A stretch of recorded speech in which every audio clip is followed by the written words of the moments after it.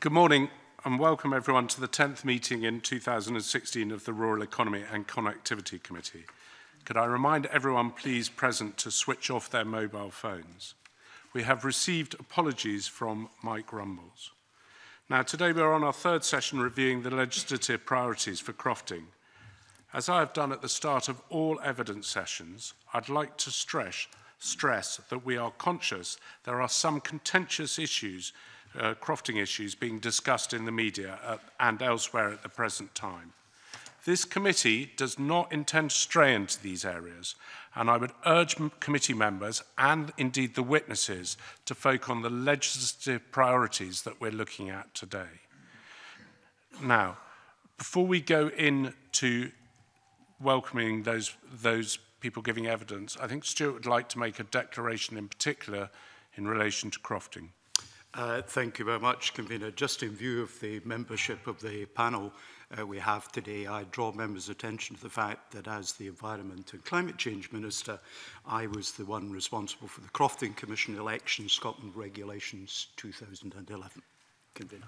Thank you. So today's session is with the Crofting Commission, and I welcome the witness panel. First of all, Colin Kennedy, Convener and Commissioner for uh, South West Highlands, David Finlay, uh, Solicitor, and Joseph uh, Kerr, Head of Regulations and Duties. And I believe, David, you're going to make a brief opening statement on behalf of the panel. Um, that is correct. Thank you very much, Convener. Um, I will introduce um, Colin Kennedy. He's, as, as you have said, he's the convener of the Crofting Commission, um, a crofter from Col.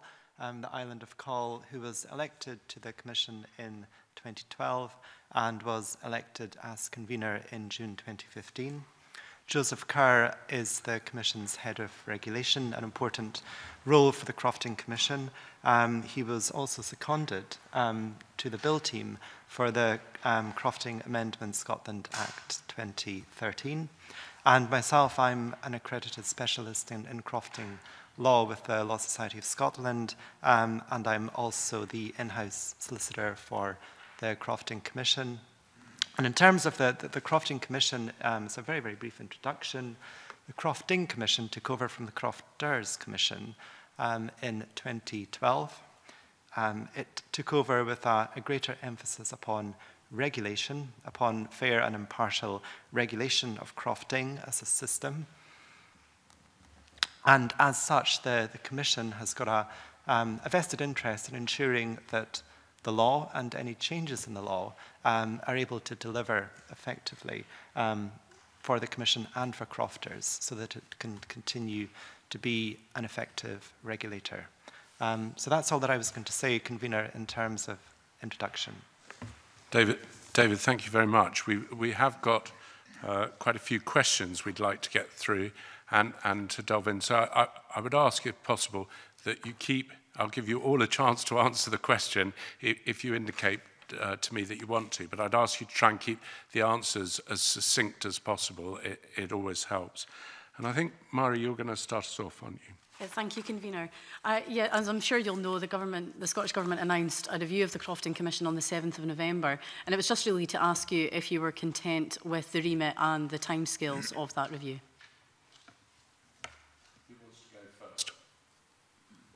Yes, uh, eh, Colin. As, as convener, yes, thank you. Yes, uh, you know, I recognise the timescales, etc., and I believe it's achievable, and seek to endeavour to do all we can to ensure that that uh, timeline can be complied with. And I think it's, I personally think it's satisfactory. Does anyone want to add anything to what Colin has said? I would, I would just reaffirm, it. I think that it is good that there's going to be a review. Um, I'm satisfied with its terms and scope. And I would see this as being, I don't want to comment on particular cases um, because you, you suggested that we shouldn't um, comment on particular cases. Um, and I, but I wouldn't see this as, as being integral to the kind of um, legislative reform um, of, of crofting law, that this is essentially an internal um, review. Um, and yes, I'm, I'm, I'm happy with its terms. Joseph The regulation, uh, me and my staff we be quite happy to, to engage um, and full, fully cooperate with uh, the review staff.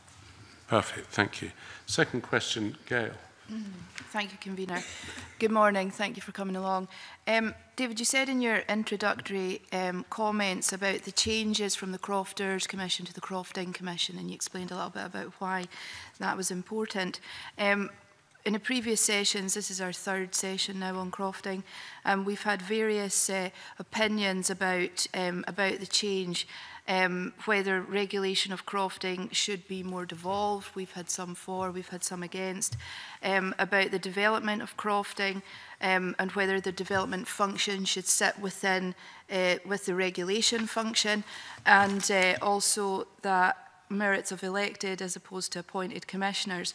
So I just really wanted to ask, um, what are the panel's views about the successes or otherwise about the changes uh, from the Crofter to the Croft Inn Commission, um, especially with respect of whether there should be a more devolved system for regulating crofting, whether the functions to develop crofting and to regulate crofting should sit with the same organisation, And what are the pros and cons of elected versus appointed commissioners? Thanks. I think you'll all probably have views on that. Who, who, who would like to head off?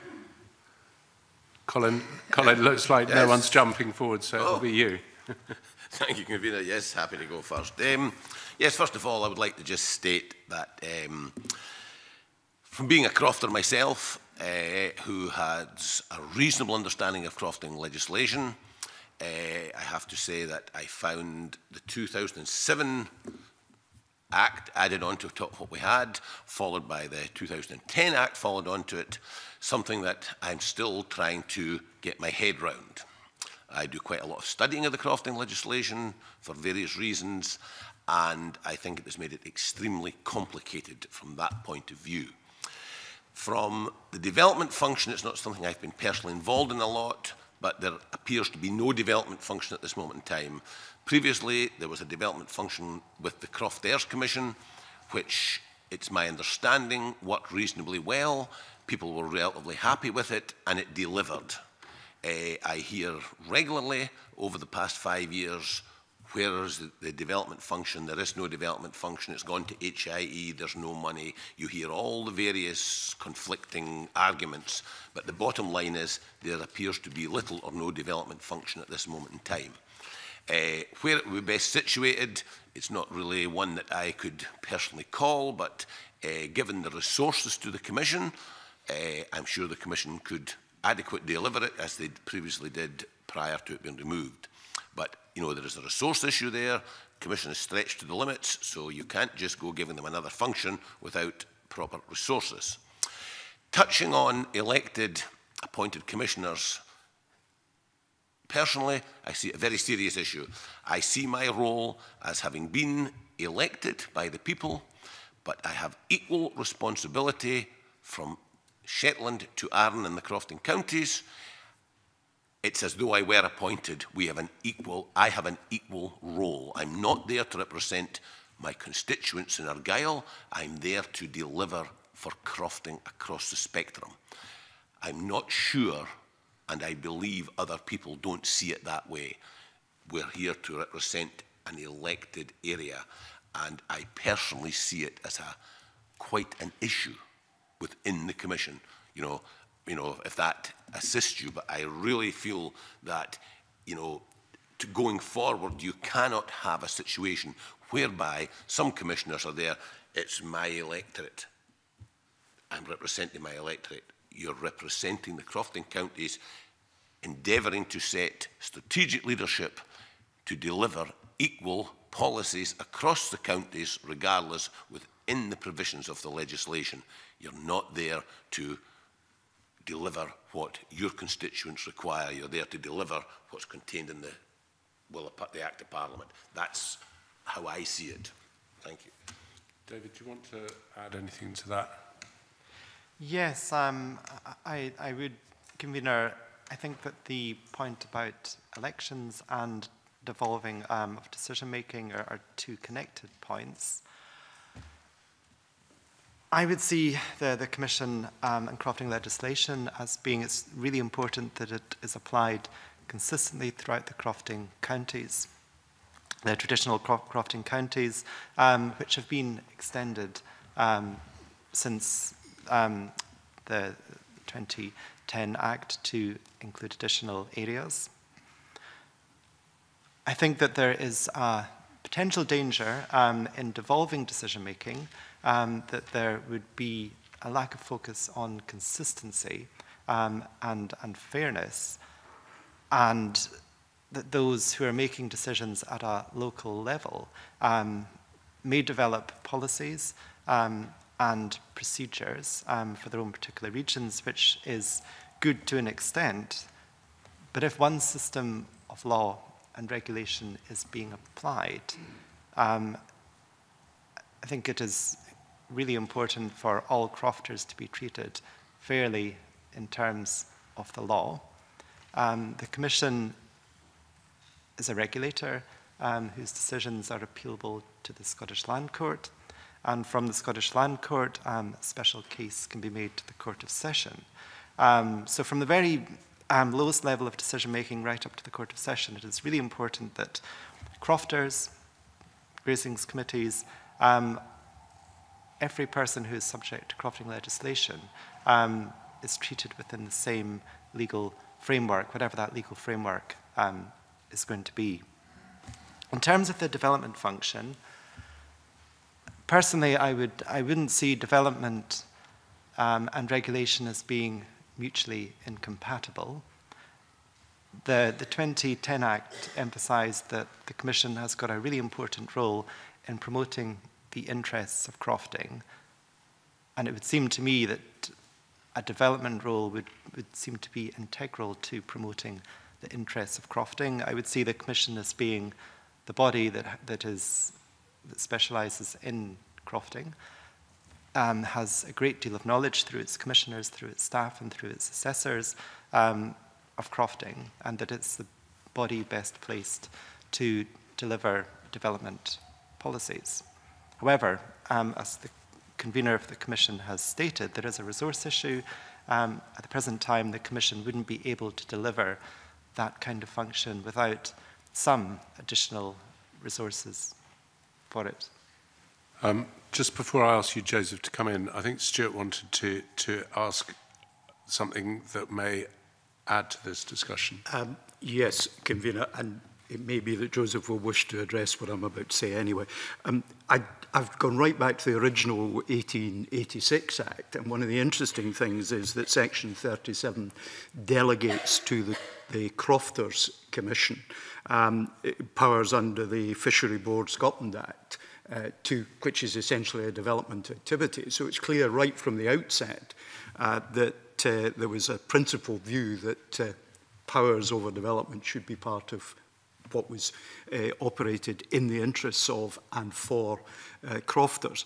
And I just wondered, uh, I've heard uh, uh, David say he has a personal view uh, that it would be appropriate to return to that principle. Uh, I just wonder if the board has taken a corporate view uh, on that subject, and I'm leaving aside the issue of whether resources, because clearly that's a different issue. I just want to know a principled thing fairly concisely, if possible could get maybe Joseph to come in and, and maybe you could answer that and the previous questions if you, there's things to add, and then I'll give you each chance to come back on the point that Stuart's made. So, I think what you say about the 1886 Act, and that was specifically reinforced by the 1955 Act, which focused on development. Uh, in terms of development, I, I have to declare a, a kind of double interest here, because while I've been head of regulation for three years, but prior to that, I was uh, the Crofting Grants and Development Manager with the Commission for about 15 years, uh, and my job essentially disappeared when the 2010 Act came in because it took away the development function. Uh, but certainly, even during that period, uh, I always felt what David said there about Um, that, that is, it, it, it's kind of an artificial separation between uh, development and regulation. And I, I certainly have found that in practice, uh, having worked in, in both elements of the Commission's work. And I was just thinking back there, looking at in my time, basically, it's, it, I'm, I'm looking at the five principal areas that we were in charge of was capital improvements, housing, encouraging young entrants, uh, community support, and various livestock improvement schemes. But irrespective of, of which, uh, how the actual schemes operated, they essentially all had the same objective, and that was to do with maintaining and improving population in remote areas. And certainly when things like, made a very a very direct link with regulation in, that, in a number of areas. One would be um, enforcement action in terms of, of, of duties or absenteeism. Um, uh, rather than just going into an area with just the, you know, uh, the, the stick of being able to terminate a tenancy, when you also manage the young entrance scheme, you could go in and talk to people about what their options were. And there was also the possibility of support there through a kind of positive role. And so you could say and look at a whole package. So I think there was benefits in that.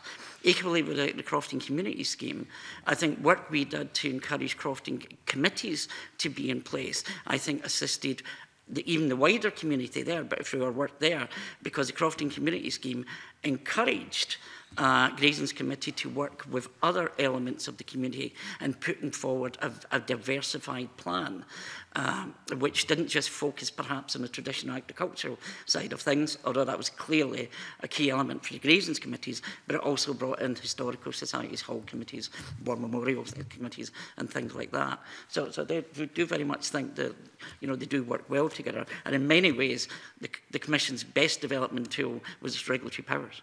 So, so I do think there is a link there. Mm. Is that an individual view or a corporate view? Oh, I'm given that as an individual. Thank you. Okay. Um, David, do you, do you want to come back for I ask Colin to make comment on that?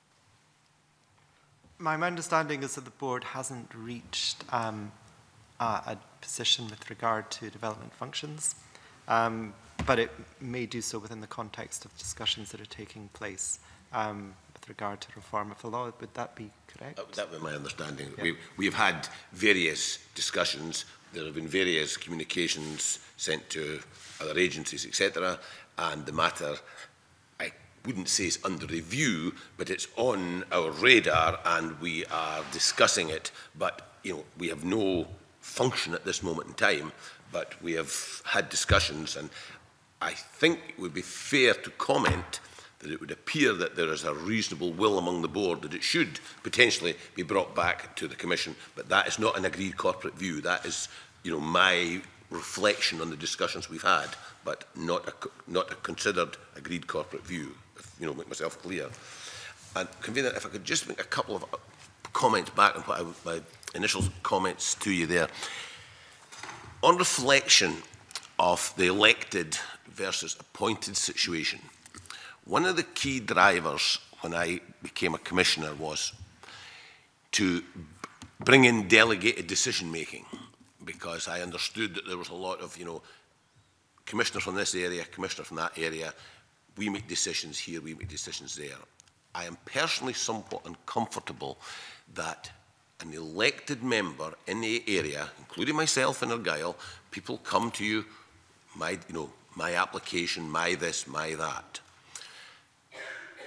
By bringing in delegate decision making, which I think is working very well, and maybe my colleagues will be able to expand on it, I think we are well down the road to bringing a much more balanced, equitable delivery of service, whereby we've set parameters and it is no longer the area commissioner making the decisions. There are, is it maybe 20% of functions, Joseph, can you help me, mm. uh, still to be delegated. We may never get 100% delegated, but it has certainly moved matters forward, in my view, considerably. And going forward, I'm not sure it wouldn't be a matter for consideration if the commissioner for Argyll was make, if he had to make decisions, made them in another area. Because the, I am very uncomfortable with this idea that the area commissioner is making decisions on behalf of his elected people, because I think it leads to some inconsistencies.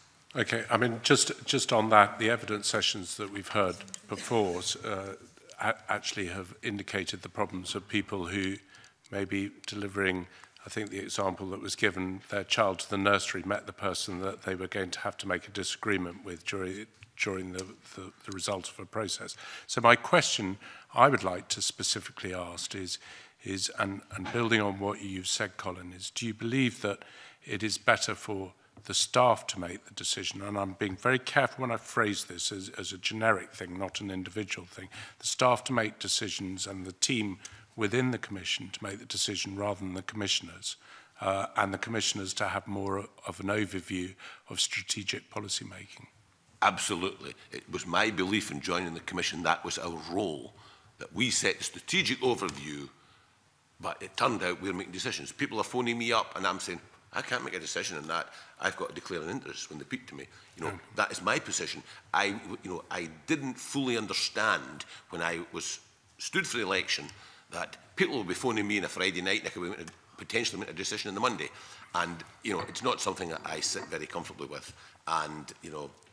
Can I, can, can I ask then, uh, taking your position and maybe the other uh, witnesses would like to, to, to comment on it, is whether that reflects the, reviews, the views of the other commissioners. David, do you want to lead on that or, or, or Joseph? I mean, I, I, yeah, the, the, the board has agreed to um, a system of delegated decision making,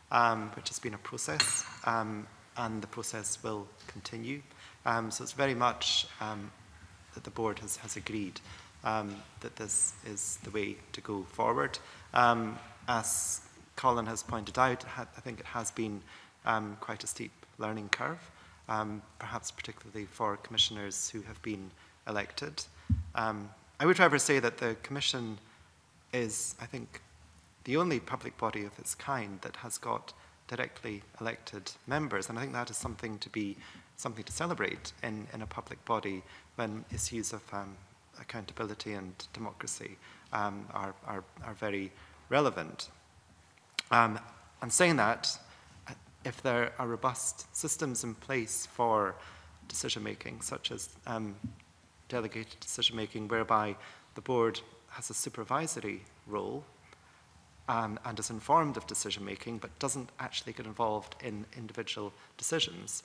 Um, I think that that, is, that, that enhances the ability of the, the Commission to regulate efficiently and, and fairly. Joseph, do you want to, to add something there? Yes. Um, the, just before um, delegation, I think something that had to happen first with, with the new commissioners, and certainly Um, David said I was seconded to work in the Crofting Bill team for the 2013 Act, uh, and that, that was true. But when I came back, I didn't go back to my post as head of regulation. Instead, I spent the next few months on a, on a, on a working group with Colin and Derek Flynn and Susan Walker, the previous convener, uh, and um, our policy manager. And what we were doing is we were reviewing all of the Commission's policy and procedures in light of the changes introduced by the 2010 Act. So we were ensuring that our procedures were fully compliant and our policies were fully compliant. And that was a necessary stage before, before you could start delegating anything. So, that, so we had to go through that process first. Since then, um, we have had a, a rollout of delegation, and um, it's, um, it's, it's a you know it's, it's an active thing. Uh, so at the last board meeting, we agreed to delegate a further two functions, and a board paper going to the next meeting, I'm proposing that a further four function be delegated. So it's, it's an ongoing programme, and uh, all the commissioners are signed up for it.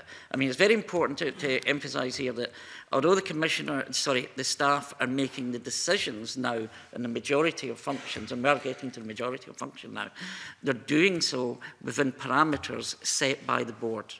So the board is setting the parameters under which we as officials operate. So there's still an important role for them there, but it's moving away from the individual decision, case decision role.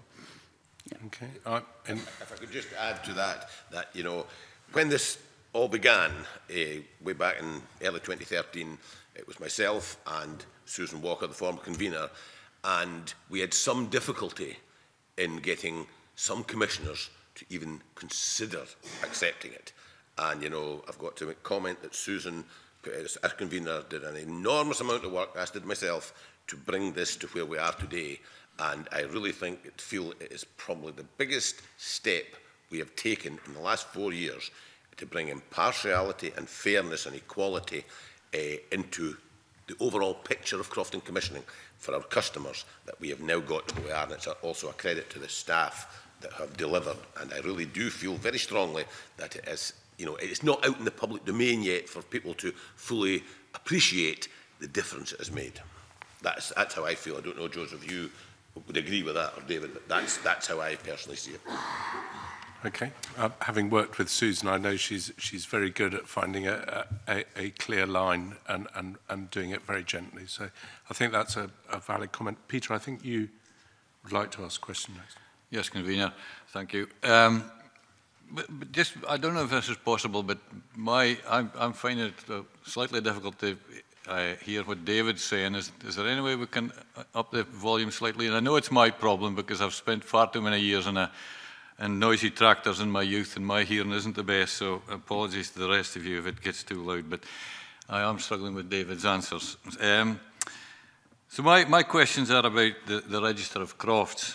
Uh, you know, that we've heard uh, that there's concern about the costs involved in the registration of crofts, and we've also heard that the, there is a process of, uh, of mapping common grazings, which we have heard is ground to a halt.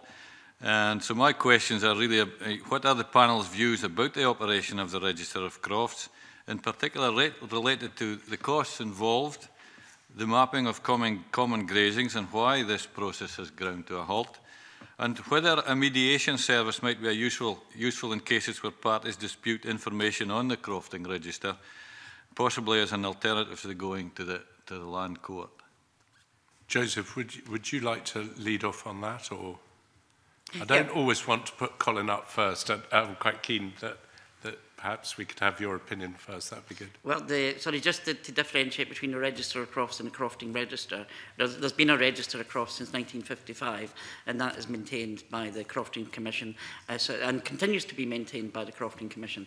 Uh, and it contains a history of the croft and every regulatory phase it's went through and every individual who's held the croft and all the rest of it. The Crofting... Sorry, every croft is on that on that register. Yes. Am I right to say? But yes. but there's a new register which is partially partially complete. Is That's that right? correct. So in yeah. terms of numbers, the register of crofts, there's over 20,000 crofts on the crofting on the register of crofts. so I can do it too. the register of crofts maintained by the Crofting Commission and the crofting register, which um, which has about three and a half thousand registered crofts in it, which uh, I mean it's coming up for its fourth birthday and only three of those years have been compulsory. The first year was voluntary when there was, uh, there was hardly any crofts registered and because people were aware that it was going to be um, it, it was going to become compulsory linked to certain trigger events. So I think most people held fire uh, in, in doing so.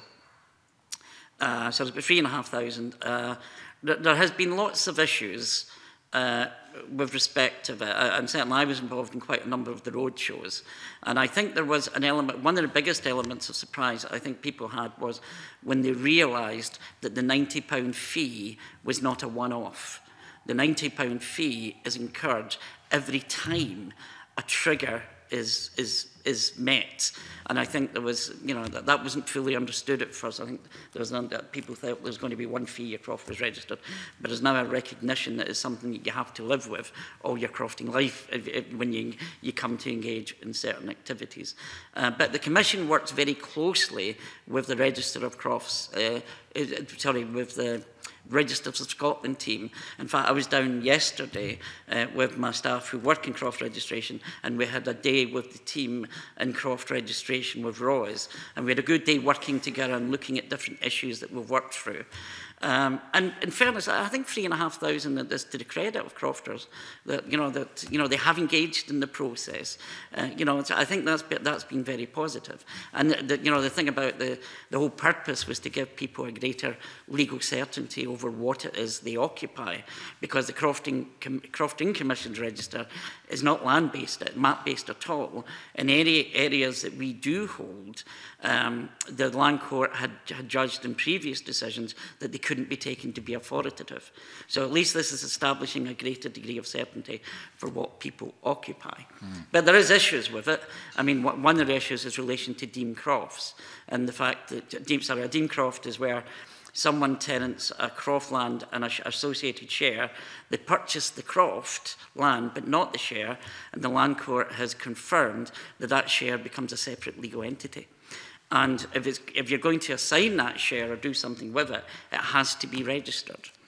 And so whereas you, you can see perhaps the benefits in your croft land being registered, where your grazing share, registering a deemed croft, does really little more than we, we are already holding in the crofting register. Sorry, yet another register of crops. So I think there's an issue with deemed crofts. I think there's an issue in terms of processing, but the fact that Um, in the vast majority of cases, I think there's only one exception, you don't have to submit your regulatory your registration application at the same time as your regulatory application, which for administrators is a nightmare because you're getting something in and you can't really do anything with it until the croft is registered. So there's, lots, there's, there's some practical difficulties, but we have been working through those along with Ross.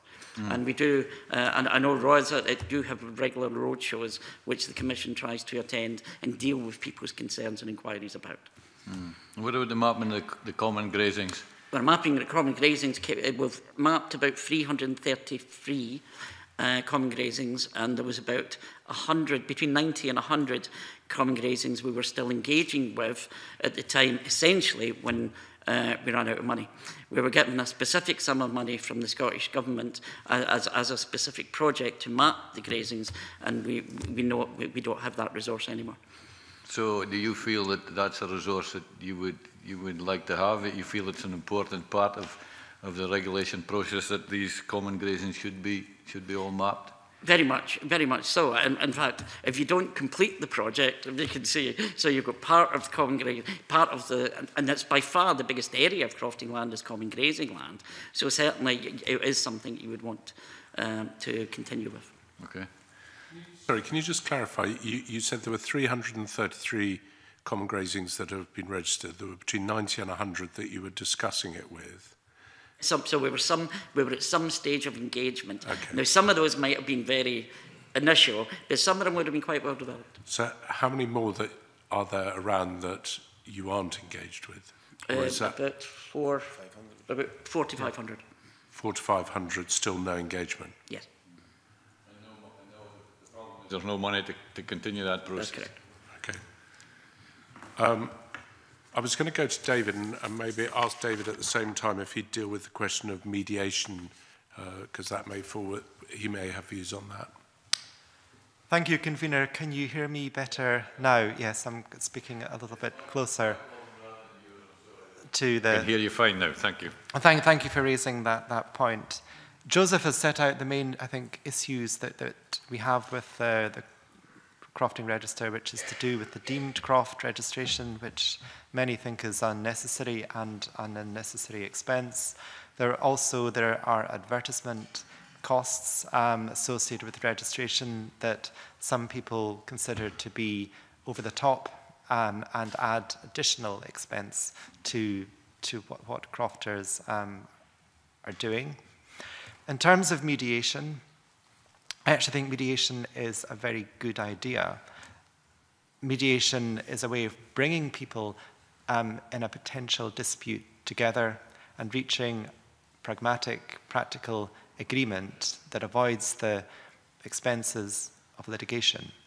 So if some kind of um, mediation um, rule could be set up to look specifically at croft boundaries, and common grazing's boundaries within the context of crofting register disputes, I think that that would be a great step forward for crofters and also for grazing's committees.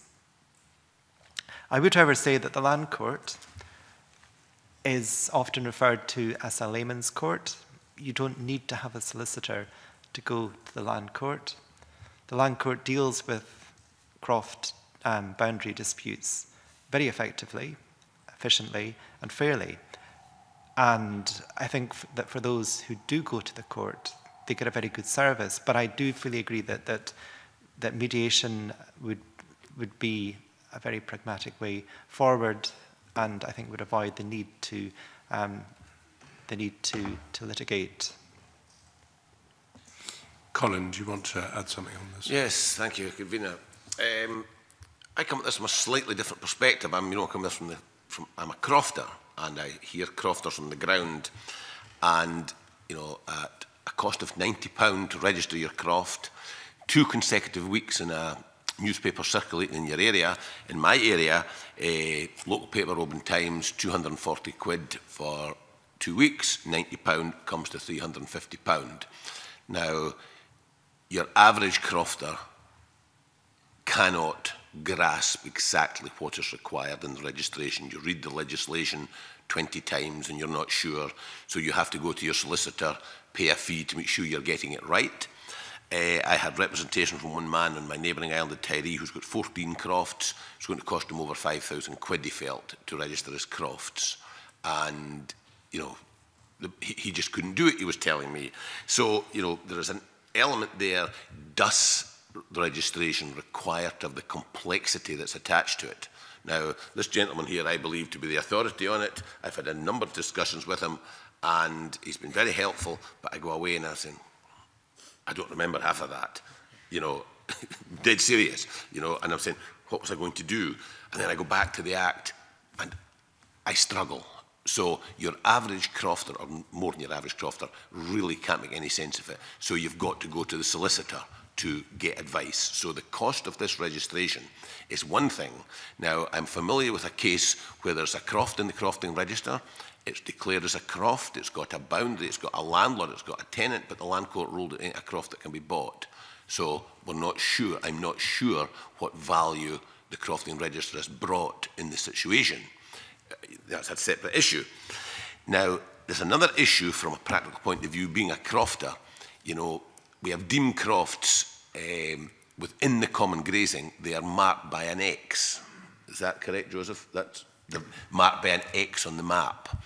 Now, the court have ruled that all the statutory definitions of a croft have to apply to a deemed croft. That was in the Commission's reference in 2012, so all the statutory definitions apply. So we have crofter A with a deemed croft, and we have Crofter B with his croft and his right in grazing, and we have an Ajax map. So does the dim croft take precedent over the right in grazing? You draw the boundary around the grazing of the Ajax map, and to put it in short terms, people just don't understand it. I have a reasonably good understanding of it, but it's either got to be a common grazing or a croft. It can't be both. So, and here we have a legal entity known as a cross, somewhere in 5,000 hectares maybe, 7,000 hectares, 50 hectares, it's a cross. How does your average crofter understand that? They don't. I, I struggle to understand it, and I've got a reasonably good knowledge of it. So the, the, the point I'm trying to make here is I think the whole crofter registration needs a complete revisit, simplified, that people can understand. Yes, crofts need to be registered for to give certainty, but the current system is creating more confusion than I can comprehend. Well, I think we're definitely going to come, be coming later on and asking you a question on whether crofts should be separated from common grazings, and, and, and that, that's a separate issue, or that common grazing share that were, were, was allocated to the croft. So thank you for that, Colin. Stuart wants to come in, so I'm going to let him come in again and then come back to you, David, if I may. Um, because of what I'm now going to ask, I declare I have uh, a three acre agricultural holding from which I derive no income, which is registered under IACS. And the IACS map is quite different from the one in my title deed. I just make that as an obs observation. Um, but I, I just wanted to allow the, the panel to perhaps agree with this, that we're not really going to get anywhere unless we have maps that are applicable across ownership of land, entitlement to rights in that land, and access to rights that come under various pieces of crofting legislation. Unless it's one set of maps, we're always going to have difficulties. Um, and I illustrate that from previous experience. I know there was a dispute between the airport of Bembecula and the adjacent crofters, which entirely derived, because I saw the map, from the fact it was a tiny scale map and the chalk line that had been put in the map when you put it in real life, was 100 metres wide. And therefore, there was a dispute as to which edge of the line was the line. Um, and so many of the disputes are going to be because we don't have maps that cover the whole thing. So would you suggest to us that getting a consistent universal mapping that is legally enforceable in all contexts ought to be an objective for registering all interests in land and all land holdings in relation to crofting. David, do you want to head off on that one? Yes, I would. Could I very quickly just address a previous point, um, which is in connection with um, common grazings registration and the concerns that that process has stopped. Um, one, one possibility for future legislation may be to allow grazings committees to apply to register common grazings. Um, and so some of the present impasse could be um, overcome if, if that were to be considered. In terms of registration and map-based registration, I agree. I think it is important that crofting interests and interests in land are registered. Mapping is a very imperfect science. The scale of mapping in much of the highlands, in rural highlands, is 1 to 10,000, which is a very imperfect scale, so that when you get down to precise croft boundaries, you're talking about a very considerable margin of error. Um, also, the topography of the land is not reflected on the map. So when you have the combination of a 1 to 10,000 scale base map from Ordnance Survey, plus um, undulations in the land, perhaps deeply sloping ground, um, it is very difficult to register that land accurately. So whether it's the land register or whether it's the crofting register, they both have to grapple with these technical difficulties. But the broader point about all crofting interests being mapped comprehensively I would agree. I think that that, that would be good for general transparency, um, public transparency into who owns land, who has interests in land and what the status of land is. Um, can, I, can I just engage on the issue that uh, David Finlay has raised? Mapping is imperf an imperfect science and perhaps put it to him that using the WGS 84 standard, which is one of over 100 mapping standards that are internationally, but is now the most generally used one, aviation is now mapping in three dimensions, height as well as terrain, uh, to within um, 500 millimetres. Is that not good enough for our purposes? I, I, I'm, I'm, I understand your point, uh, Stuart, and I, I, I'm, I'm concerned that the government, having not been able to fund the mapping, may not eh, eh, no, no, no. previously may not want to go down to that level. I want of a detail. principled point, but I think the generality of, of, of, of being accurate mapping. I mean, in the sense that the the FIS maps and, and, and that we have is. Do you think there's a way of making it work without going down to the, the last decimal point? Yes, I would emphasize that, that mapping um, is responsibility of Registers of Scotland, um, not the Crofting Commission. And development of mapping technology would be um, developed by, by Registers of Scotland um, using whatever technologies are available. But at the moment, the margin of error um, is, is quite considerable. But notwithstanding that, I I would consider that from a purely crofting perspective, mapping gives greater certainty as to the status of land. So for individual crofters who want to know what they own, for their solicitors who want to know what they own in, in the context of buying, selling, assigning croft tenancies, it seems to me that a map-based register provides not a perfect, but maybe an imperfect element of certainty that is good for crofters and good for crofting. Colin, do you want to add on the mapping?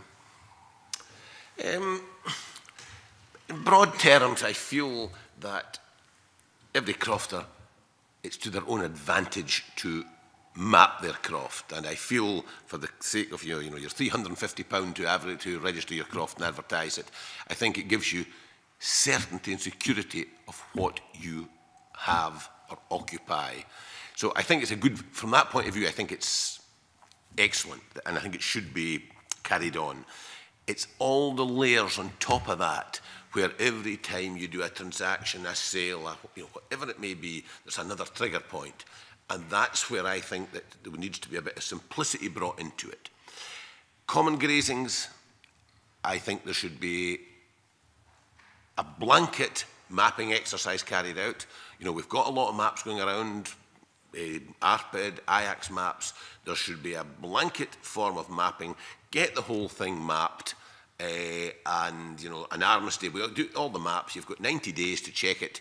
If you haven't um, come back and said it's wrong in 90 days, that's it. End of story. And we then have the system all mapped. The problem I have within that map is who, what, why, where are the rights? Some folk own the rights. Some folk have got rights as part of their croft tenancies, some have got deem crofts. There are various sorts and types of rights. It's how you record the rights. Now, one of the problems I see the Commission, which we haven't even looked at, is we get an application in. Some people have in their title deeds the rights contained in it. The court reference in August 2012 declared that by separate inclusion in the disposition, a crofter can purchase his right. So, provided it's in a separate inclusion, the title deed, and not under uh, parts, pillars and pertinents, then you own it. The Commission, it is impossible for the Commission to be recording all that, looking at title deeds when we get applications. So the, big, it's, the map is one issue. Where the rights are vested is a much, much, much more difficult issue. And Quite how you'd address that one is beyond, my, beyond me. I don't know if any gentlemen beside me have any comment to make on that. I'm that sure is to me a serious issue. Joseph, hopefully you're going to give us the answer. Yes. Uh, I mean, mapping is just one of the issues. The other thing, at least uh, with a croft, uh, we can um, refer to our register of crofts and know who the principal parties are. We know who the tenant is, the owner occupier crofter, the landlord, uh, the subtenant if there is one, short-term latee. The problem with a crofter's common grazings is there simply needs to be a plurality of crofting interests for it to be crofting, a crofter's common grazings. And every, every one of the rest of us could be non-croft shareholders in that grazings. And we don't regulate that. So basically, you, so you have to, one, the other thing you have to capture is who actually holds the right in that grazings. And there's an awful lot of work involved in that as well, especially since we are not, these people are, they're within the scope of the Act for certain purposes, but out with it for others. So it's, it's, it's, it makes it very difficult. If I could just add, we would need to check every title deed. Before we could get an accurate account, you need to check every title deed, who owned what. It's a monumentous task Okay.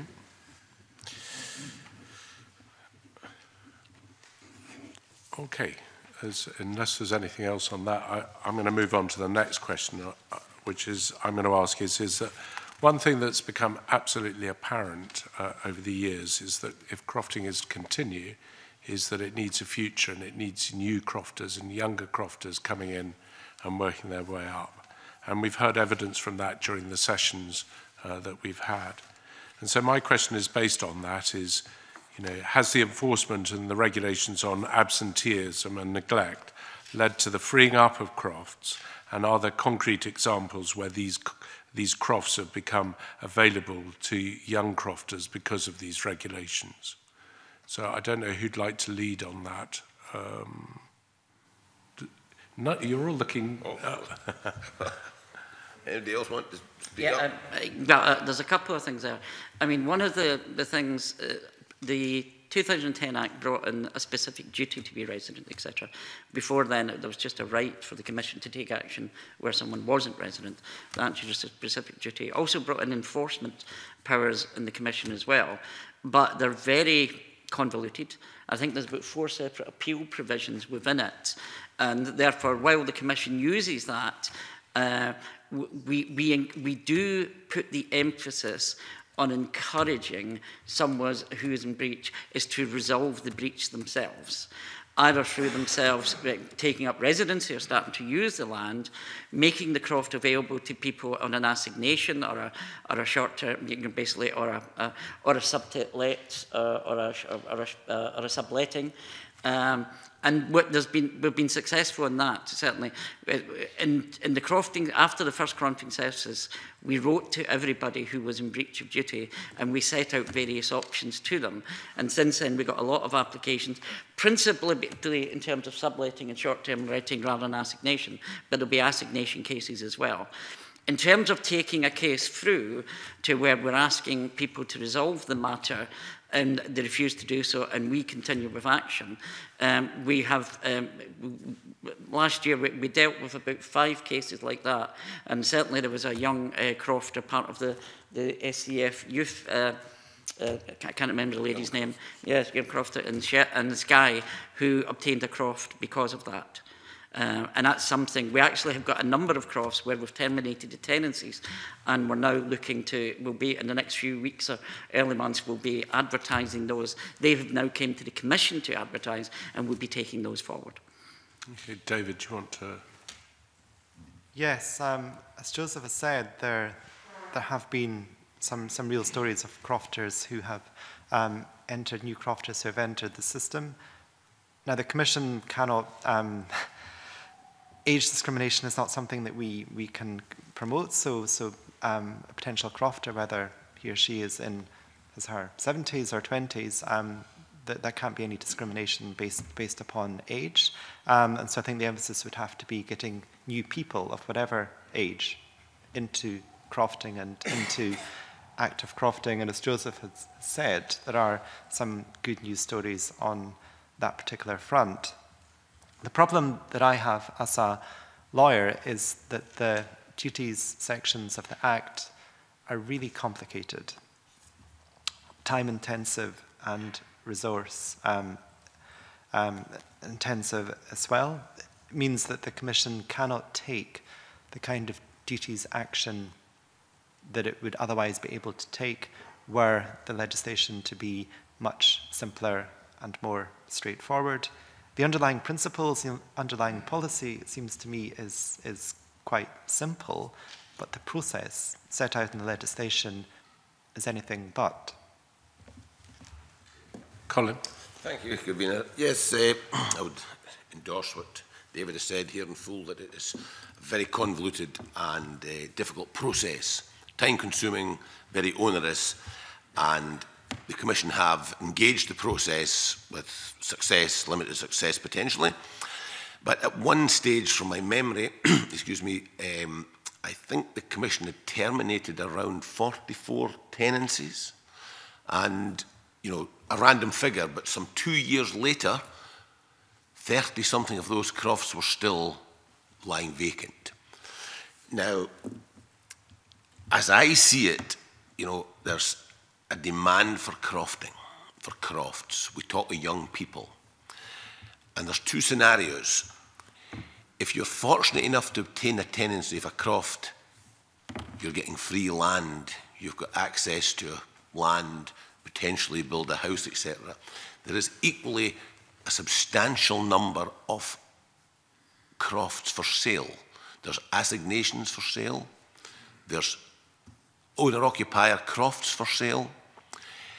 And people, now I don't know, but it would appear to me, as sitting on the outside looking in, that people don't have the funding to go and buy the croft. You there's a great demand for crofts, we're told. You know, we hear about it all the time. But a croft tenancy for 20,000 pound can get you a croft. You can buy a owner-occupied croft with a house maybe for £100,000 in some of the places, but they can't get the money. So the real demand I see as a crofter living in the islands and in the heart of it all is we cannot get money to buy the croft or to borrow or whatever. We can't get mortgages. But if we can get a tenancy free of charge, we are going places. Now, I feel that there is something got to be looked at, examined, and a solution come up with because there is any amount of crofts out there on the market. But it's getting the means. And I spoke only recently with someone in the financial industry who was trying to get, had an application, was trying to give money to, you know, to a crofter, and he couldn't give money. So my answer to you here is, yes, There's demand for crofts, young crofts, old crofts, but it is getting the money. So there's the you know, there's, there's crofts there. If you get a tenancy, you get a croft. Most councils have presumption in favour of planning on a bare land croft, so you'll get planning. You've now got the grant system, much appreciated. You've got 40 odd thousand. You're on your way to getting somewhere. But if you could borrow the money at reasonable rates, you could be there much quicker. So if you comprehend what I'm saying, there is a The, the real issue that needs to be looked at is, and the drive for duties to be freeing up crofts is really to free up free land. Whereas if there was, the focus was going more on, or equally on, how do you make it available that people can get money, you could solve, or you know, you could satisfy a lot of the demand. That's how I see it. And, and that point's been echoed before, so thank you for that. Um, Richard, I think you've got a question there a number of questions. Um, on, based on the last one, and we heard about this last week, what about the Highlands and Islands um, giving, you know, giving loans to, to people to encourage this? HIE. That, HIE. What about them? Could they do that, or should they do that? Do you want me to comment again? Yeah. yeah. Well, yeah. my understanding is that every time we've spoken to HIE about this matter, or people from the board of HIE, nothing to do with us. We only deal in crofting communities, yeah, individual crofters. Uh, Financially, I, I worked for a bank for 10 years, so I know, I know, I know the, the, the problem. Um, I'll no name the bank. Okay, so thank you.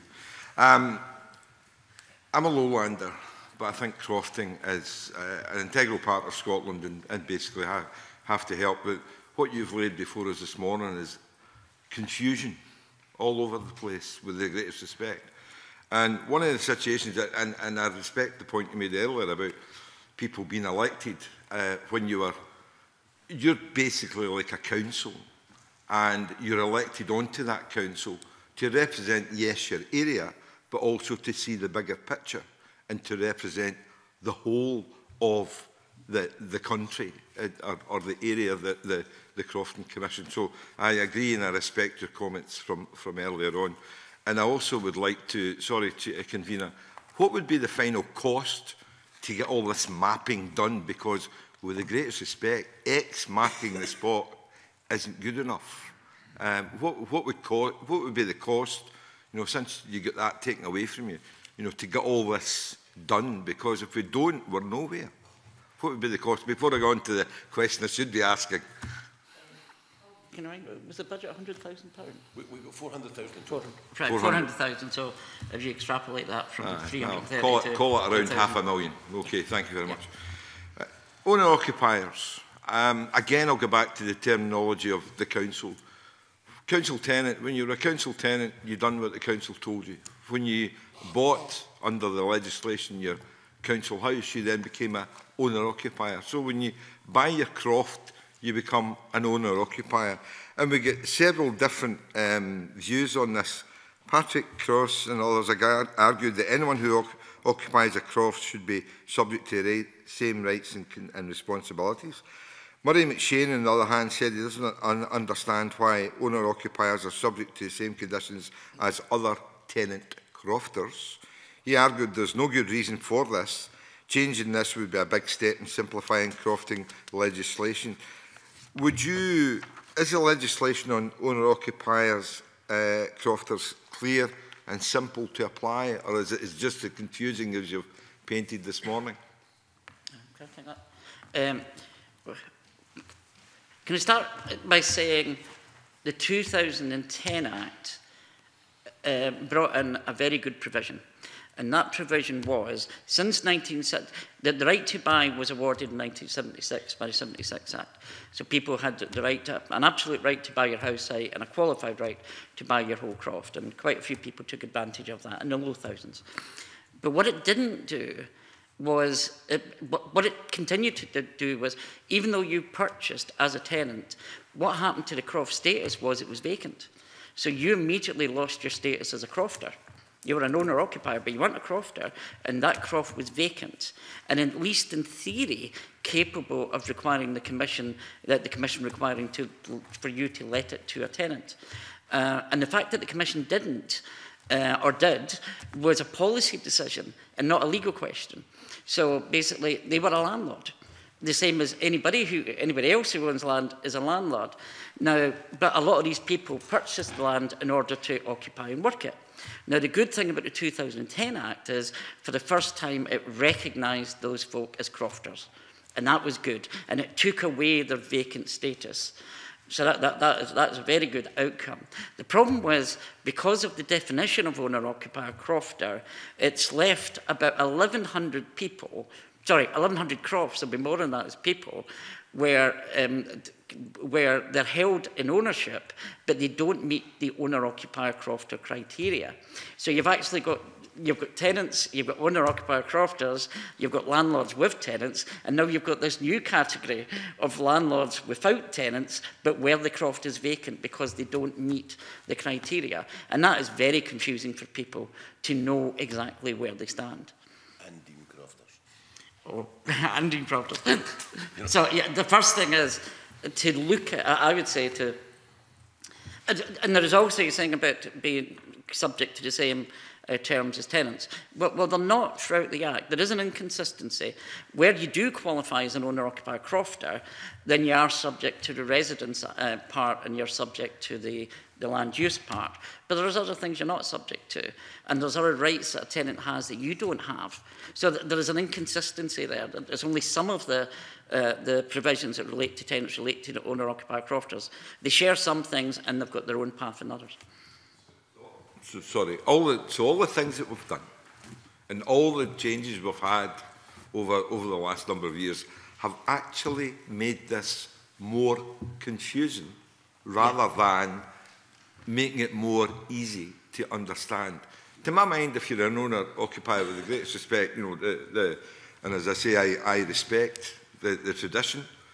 But at the day, Crofter was a, a terminology when uh, basically landlord or a laird or whatever, and, and, and they gave it to the local folk, and the local folk paid a, a fee, and they became a crofter, tended the land and worked the land and fed their family, all the, all the, all the thing. I don't need to go through, you know, uh, you know the tradition better than I do. And here we are in a situation, 2016, that crofts and also the confusion of what, what's happening.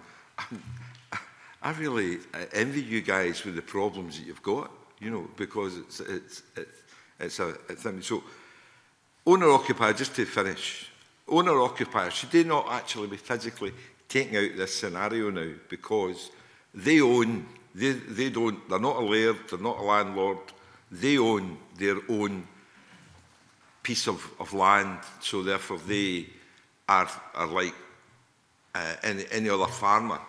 Uh, in, in, in Scotland. Do you not agree with that? Well, David comes to that and, and Joseph come back. So, so I think the question being asked is, is, is a owner-occupier a landlord and, and a tenant, and should they no longer be a crofter? I, I don't know. Is, is that, is um, that yes, and in, in answer to your question, I, I would consider that there are higher level policy issues to address here. Should crofts, and I'm talking about owner-occupied crofts as well as tenanted crofts. Should crofts be subject to absentee action? Should crofts be subject to action where there is neglect? Bit Great suspect, yeah. sorry. I, I, again, we're going down a road that's going to confuse, and you know, it, it, the tentacles seem to be growing every five seconds. Simple,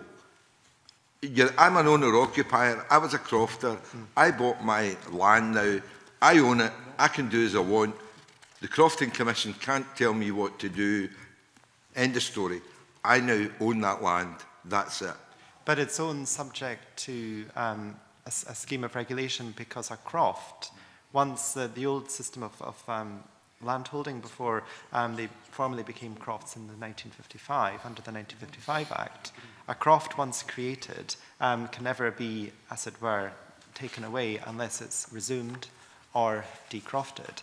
So once a craft comes into existence, it cannot disappear from the crafting system um, unless it is taken out of crafting by either of these two processes.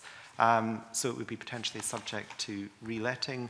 Um, it would be subject to duties action under the 2012 Act. And I think that this is a high level question as to whether um, it is a um, policy objective to ensure that crofts collectively, however they're owned, are subject to regulation on absenteeism and neglect, um, or whether only some crofts are subject to that scheme of regulation.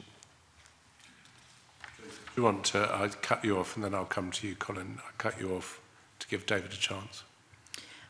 I mean, it's a difficult one because the, the, the The 2010 Act, one thing it tried to bring in was a degree of parity between owner-occupier crofters and tenant crofters, because uh, I certainly, the, the Commission used to have a presence at the Black House Show every year, and uh, there was a particular gentleman used to come and speak to me in the afternoon to say that the then Crofters Commission went up and down the country encouraging everybody to buy their crofts, and he exercised that, that right.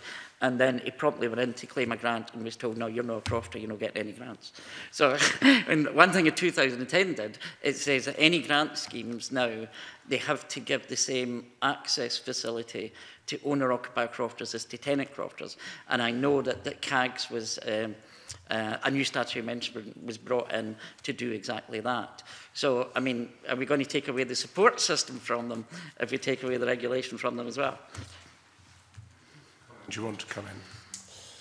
Yes. Um, in answer to the gentleman's question, um, prior to the 2010 Act, it's my understanding, and reading from Section 3 of the Act, meaning of croft and crofter, in this Act, crofter means the tenant of a croft.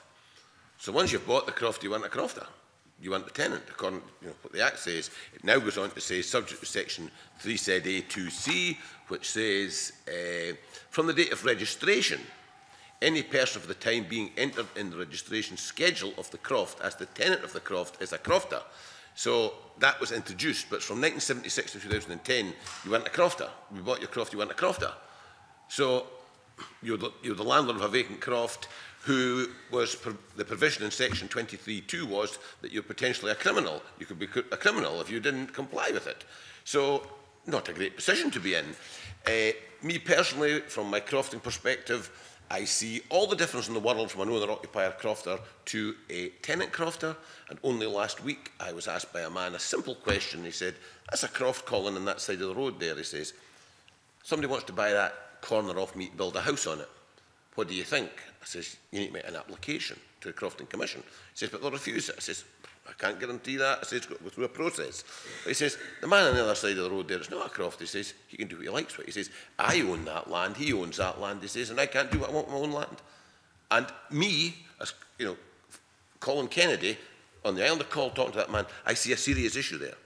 A very serious issue. You know, I've got to emphasise, not with my Crofton convener hat in my head, you know, I told them to go through the proper process, it'll be treated, you know, what have you. But I see a serious issue, and I really think that's got to be addressed, because when you own your croft, there is all the difference in the world from the tenant of the croft. If, that helps answer you, that is my view. That is my point, point entirely. That's the point I'm driving at. Well, you know. The difference, you know, the confusion, you know, the, the, the people who have not been treated fairly, and, and the and the onus is on you to try and solve it and, you know, try and be Solomon on, based on acts that are confusing. Well, the, to, to, if I could move that forward, if you don't, convener, if I could just move that forward, my view is, you know, there is a, pres, a presumption against decrofting at all times. Crofting, croft land is sacred. Well, there is less and less animals And your point, crofting was set up to feed the family in 1886, a cow, a sheep, a goat, a hen, all the things you required to live. It wasn't about making money. Today, there is no requirement in the Crofting Act to keep a goat, a hen, a sheep, what have you. So What is so sacred about the Crofting land? From my perspective, what is so sacred about it? It's about communities, it's about keeping people in rural areas, about infrastructure, schools, all the things I don't need to name. And I think that a, um, the wider picture needs to be looked at in a bigger context. And what are we trying to preserve? Is it people, communities? What are we doing? Or is it, are we preserving land that's going wild in the Highlands? Thank you. Just so, if, if you allow me just to be clear, I totally agree with you. I want to keep Crofton in Scotland. I think it's a great tradition. But I want to see fairness and a better system for crofters and for the people of the Highlands. I couldn't agree more. Thank, Thank you. you. So I think I'm just going to leave that one there, if I may, because I think it, it, it, it actually goes to the crux of the problem, um, which I think we'll be looking for some guidance from, from the government on. Now, John, I think there's... Thank you. Um, yes, next on to me, and I also confess I, I'm from the city, I'm from Glasgow, so I do not have an intimate knowledge of crofting, but I'm getting to uh, into it a bit more. Uh, we've mentioned common grazing before, and I wanted to ask about grazing committees. And um, without getting into obviously any specific cases, but really just is the legislation that the Crofting Commission has to apply to grazing committees fit for purpose, given that, as I understand it, the, the, the whole has become more complex with subsidy regimes, environmental obligations and renewable energy opportunities sometimes on the common grazing. And I've been told uh, by the experts that I should look at the Shucksmith report uh, which I have been dipping into. And uh, it says that its recommendation was at community level, grazing committees should be modernised to become crofting township development committees and a broader remit and more inclusive membership. Their primary function will be to develop and agree strategic plans for local crofting development, which I'm assuming hasn't happened. So just like your comments on grazing committees. Uh, I'm going to let Colin go first, and if I could just reiterated that, that I'm looking, as the committee is, at the big picture and, and not specific examples, if I may. Thank you, Convener. Um, my position is that uh, what the Act provides for at this moment in time is relatively simple uh, in terms of common grazings. If they want to change it, that's a separate issue. I can, you know, I, I will address what the Act provides for.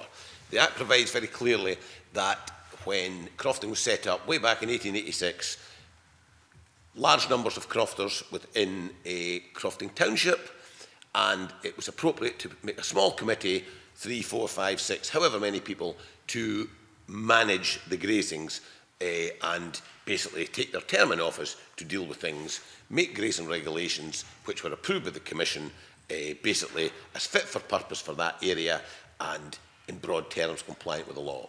The powers given to them are vested in section 48.1 of the Act. It's maintain a eh, to maintain the common grazings, namely if there's a fence needing repaired, a ditch needing fixed, what have you, those powers are vested in them and it is quite clearly set out that the monies for those uh, uh, maintenance matters should come from the crofters to deal with it. There is provision for improvements and if the improvements are not agreed by all the shareholders. The provision is there to call in the Commission as the final arbiter and say, yep, that improvement is uh, required, we approve it, and the matter goes on and they've all got to pay their monies. Now, to me, the role of the Grace... Sorry? No, I was just going to say, I mean, that's the scenario where the individuals have to pay into the fund. Yep. What happens if the common pot actually has money in it? Is that also clear in the legislation?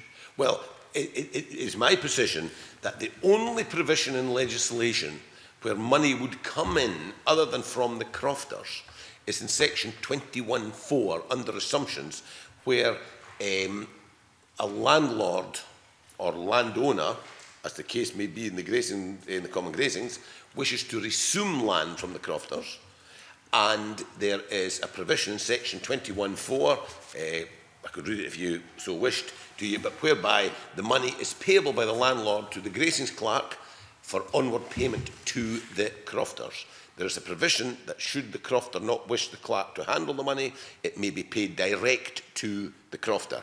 But th the law yeah. has at the moment, but, but what about somebody wants a wind turbine? What happens then? There is a, well, I was going to come to that. Right, so okay. that's the only provision that I am aware of in Crofting legislation whereby monies come into crofters the, the money's come from crofters to the Grayson's Clat for those matters. But Section 50B has been introduced at a later stage. I can't be precise. Do you know of, David, when it came in? 2007. 2007, Section 50B, whereby you can go through a process for doing other things in common grazings which provide, and you know, you've got involved the, the owner, the crofters, the committee, and the commission. You know, there's, a, there's a fairly reasonable, not too onerous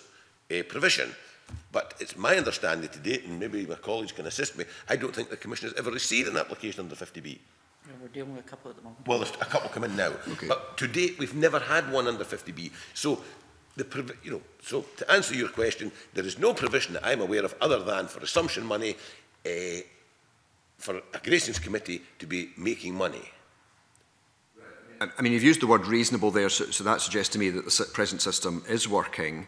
I mean, you also said uh, if they want to change it, I'm not quite sure who they might be. I mean, we're here partly to see is the present legislation working, but also to, to listen to recommendations as to how it should be improved, because we then need to decide should there be new legislation. So I'm interested to know in this area around grazing committees. Well, I, are, are you happy with them? I, I wouldn't, you know, I don't want to touch in respect to the convenience, I don't want to touch in current live no, issues. Absolutely. I want to keep as far away from that as I possibly yes. can. But from my perspective, In the majority of the Crofton counties, the legislation regarding common grazings is working adequately. We have no issues of which I'm aware. There are certain specific areas where there are problems or issues which may arise from the law as enacted being deviated from. If that's a fair way of describing it. Right, but my key point is, does, do we need to be pushing to change the law? And I'm getting the answer that we don't. I don't personally feel, if, if the laws comply, I don't feel the law on grazing, on a eh, common grazing, section 48, 49, 47, 48 and 49, I feel is not far away from the mark. David, would you like to? Um, thank you, Convener. It seems to me that there are two issues here. The first is the present leg legislation, um, and the second are proposals for reform I think it's really important to appreciate that the Grazings Committee is essentially managing the individual crofter's right to graze. So it's intimately connected with crofters and their, um, the pertinental right that they have to graze over an area of land together with other crofters. If it is the government's view that there should be wider social, cultural, environmental benefits associated with common grazings that deliver wider benefit than a completely different system of regulation um, and a completely different um, system of law would be required to do that, and it would detach the common grazings and the benefits that can be derived from it away from the crofters who are the ones entitled to a wider community. So that would require uh, a change in the law, and I don't want to provide any view um, as to whether that, that should be changed or not. But from the Commission's point of view, I, I would say that sections 47 through to 49 are fairly clear. But I think, to be honest and frank, grazing, some grazings committees are carrying out activities that, and there are question marks as to whether or not the Commission can regulate them in terms of the Act that's situation that has arisen, and I don't want to comment, um, convener, obviously, on, on, individual cases. And I think that that is an, an area for debate, but I do think that it is clear that grazings committees are there to manage the grazings for the crofters. They have a role to improve the common grazings as well, and there's a particular procedure for doing that. So the law at the moment is not, not as unclear and not as um, out of date as, as some people might be suggesting. I think the individual grazing committees are pretty clear as to what they can and cannot do. I think more or less so. I, I, I think that, that sometimes the situation is complicated by the fact that although the legislation is pretty clear, there are also grazings regulations that are applied in addition to and as part of the the legislation, um, and sometimes the regulations um, may add layers of complexity and uncertainty. And one thing the Commission is currently working on is to simplify regulations so that, going back to your very point, the, the crofters um, who are sharing in the grazings and the committee members are clear as to their rights and responsibilities and how far they can go um, with, with their um, in their role as, as a Grazings Committee. That's helpful, thank you. Joseph, do you want to add something to that? The, the only thing uh, uh I would add is I think is there is an element of confusion about where um, the Grazings Committee and the shareholders in the Grazings are engaging in something other than simply grazing the land. Uh, because simply we know that because of so few applications that we've had to use the common grazings for something other than cultivation, which is a requirement under the Act, but we see very, very few applications. And until very recently, ARPID had in their guidance for SRDP that the Crofting Commission had to give their approval to any project that was applied for. And that's simply not true. There's nothing in the Act that says that. But what we do, what a, Grievance Committee does have to do, it needs to come to the Commission for approval, not of SRDP funding or anything like that, that's not our role, but to engage in something other than cultivation. And that's not happening. Yeah. As a rule, as a rule. Um, can I, just before we go on, can I, because I'd like to weave in a, a, another question, if I may, with, with John's, is that one of the things that we've heard mention of is that the separation of shares in the common grazings from crofts and, and, the, and, and X marks the spot of your croft uh, in the common grazings and, and that that may stop young entrants coming into crofting. And I, I wondered if you had an opinion whether you think it's appropriate for people who aren't actually crofting to retain shares or if they've sold their croft to retain shares in the common grazings. So, Colin, you indicated you want to speak. Can you weave an answer to that one as well, please? Absolutely. It's a legal right. You know, if you sell your croft, provided you uh, comply with the legislation, you sell your croft. Section 3.4, I think, of the Act clearly states that if you know if you sold your croft, the right has not been sold. It's a separate entity. It's to be treated as a deemed croft so you hold it as a deemed croft. Section 3.5, if you apply to apportion that right and you get an apportionment from the Crofton Commission, then it is deemed to be a croft. You know, so uh, when, before apportionment, it's marked by an X, but once you've got an apportionment, it's got a boundary. I'm going to declare an interest now as a farmer in the sense that I farm. One of the things that I found was quite difficult will, will, was slipper farmers and, and, and I'm glad that the regulation has changed that we are getting rid of that. It's some indication that somebody has mentioned that somebody could have shares in the common grazing and benefit from income from the common grazings are getting but actually not doing anything for crofting and stopping young crofters coming in. I, I understand it's a legal right. Well, I've questioned on many occasions how the Dean Croft marked by an X is eligible in an IAX forum where you've got to have a FID and a field identification number and a map and GPS. You will be familiar with all the current regulations. Yes. I have repeatedly questioned over the years, how does an X square up for the IAX requirement? And nobody will address the question. My view, it doesn't. It doesn't add up. You know, I don't think I could produce a map and say, there's an X, that's my share in the Ajax. It, it, it doesn't work. There is a grey area. There's an area that needs addressing. Okay. I, I, you know, I, I could go further into it, but I don't know if it's I, th I, think, I think your answer is it, it gives us a pretty clear indication. Joseph, you were indicating you wanted to say something. Was I? oh, sorry. All right. man. If you're happy to leave it there, I'm happy. Well, David wants to say something now. So. Just one point. I think that the the deemed croft situation arises because of the right to buy. Um, it's an integral part of that, the right to buy the croft, because when you buy your croft land, um, in order to preserve the integrity of the share that was associated with that tenancy, therefore the tenancy has to become an independent entity in its own right. So I think that to, if the government is minded to address this issue head on, then it would have to go right back to 1976 and look at the fundamental provisions of the right to buy, what they mean, whether crofters can buy their grazing right or not. Um, all of these um, difficult legal issues would have to be tackled head on. Wants to come in, and then I'm going to ask you, Colin, if I may, to come back. Yeah, thanks. I, um, I mean, I, I need to declare an interest as a farmer as well, because I'm going to speak a wee bit about the, you know, claiming subsidy regimes from CAP monies, and, and is there a confusion as to who claims BPS and environmental schemes money? between the grazing committee and the individual crofters? I mean, how is, there some confusion in there uh, uh, uh, that we need to examine and, and uh, I would like an explanation of how that works in practice. Colin, I'll let very quick, that's the very point I was going to make before the gentleman spoke. If the matter is going to be resolved, first of all, you've got to understand the legislation where it all begins and the rights of crofters.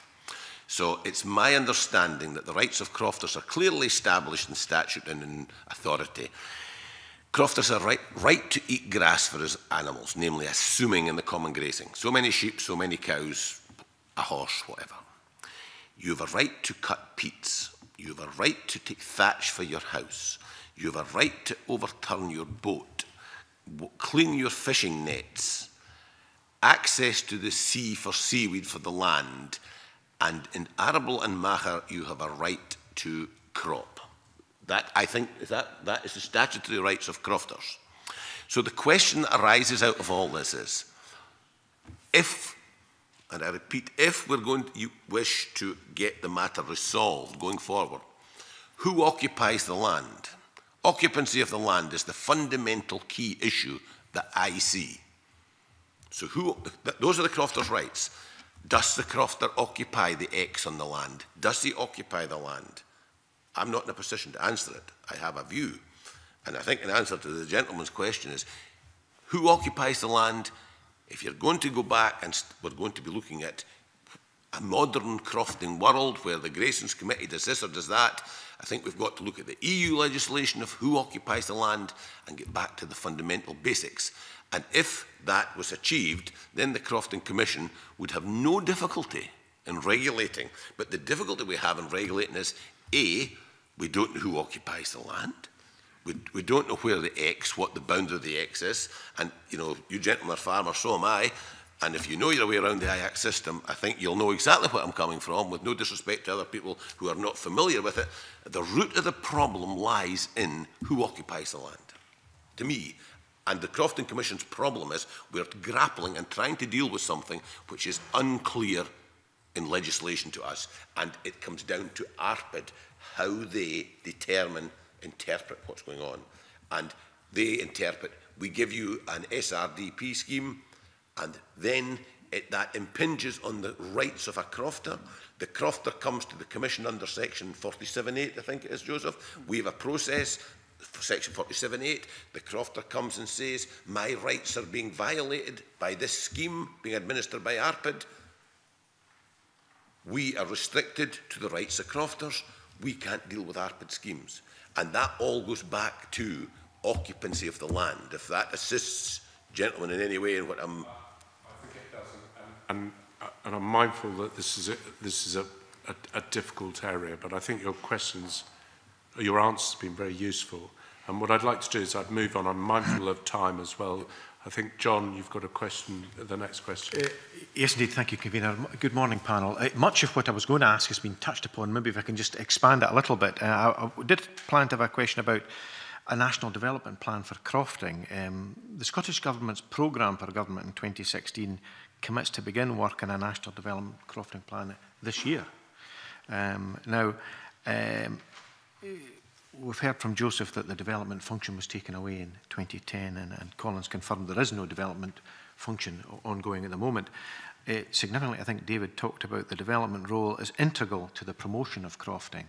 So my question is about where is that the, co the conflict of you know the, the Scottish government's proposal